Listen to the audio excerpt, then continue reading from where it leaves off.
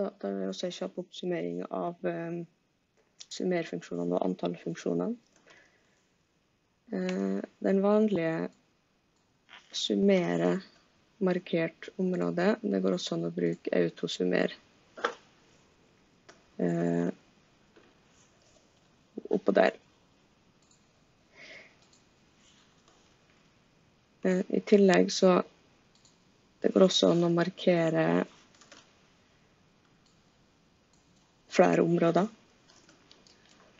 Så er vi klar over det òg. Eh, summer hvis det er summering under eh, et vilkår. Eh, her så er det vilkår om det er ekspress eller standard. Så summer hvis og vi skal summere hvis det står ekspress eller standard her.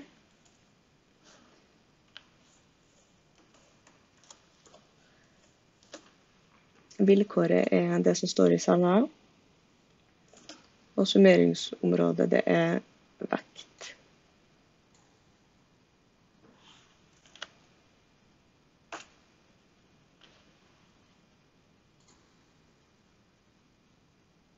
Nå klarte jeg å lure med A1 her. Det stemmer nå ikke. Sånn.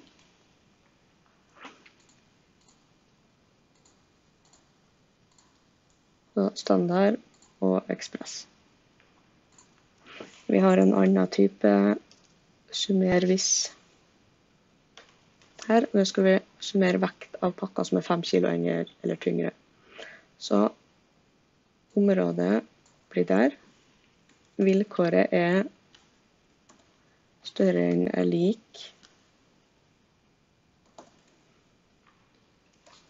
Og den cella der, i og med at du kan oppgi ei egen vektgrense, og du skal summere alt som er over den grensa, så du kan ikke bare skrive eh, tallet 5.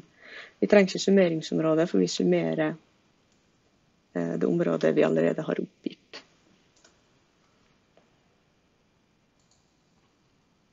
Hvis jeg endrer den til 10, så skjedde jo ikke noe, for det er jo ikke noe mellom 5 og 10. Men hvis jeg endrer den til 15, så er det kun én pakke som er større.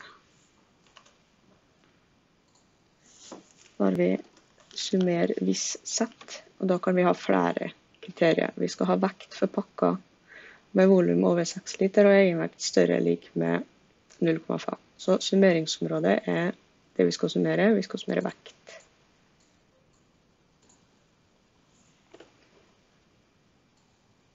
Sånn. Kriterieområde 1, det er liter. Kriteriumet er større enn eller lik med hermetegn. Over 6 liter. Det første. Så alt som er over 6 her, skal tas med. Kriterieområde 2 er egenvekt.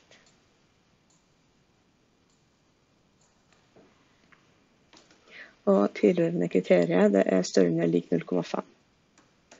Det er hermetegn større enn eller lik 0,5. Sånn.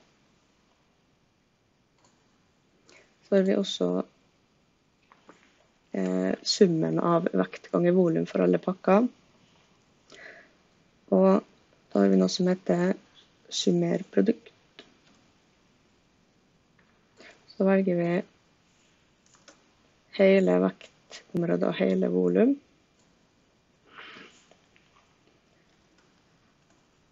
Og det Excel nå gjør, er det samme som at vi skulle ha eh, skrevet det her manuelt. Sånn.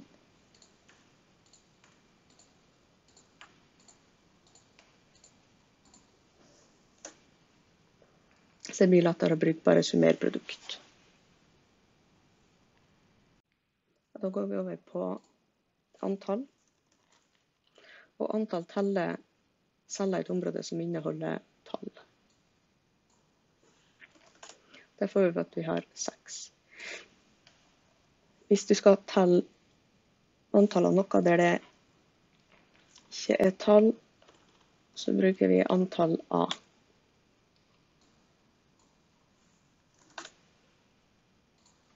Der får vi også seks enheter. Hvis vi hadde brukt antall og markert her, så har vi fått null.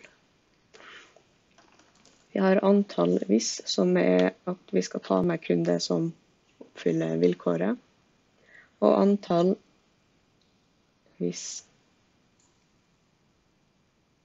det der er større enn eller lik 20. Det er også antall hvis sett. Det samme som summerer hvis sett, at vi har flere kriterier. Og vekt under 25, så området er vekt, og tilhørende kriteriet er mindre enn 25. Høyde over 35, så kriterieområde 2 blir her. Og kriteriet 2 blir større enn eller lik 35.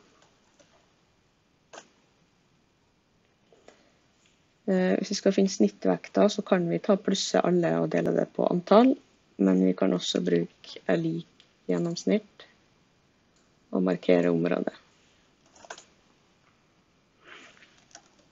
Og vi finner minste og største verdi ved å bruke er lik min og er lik størst.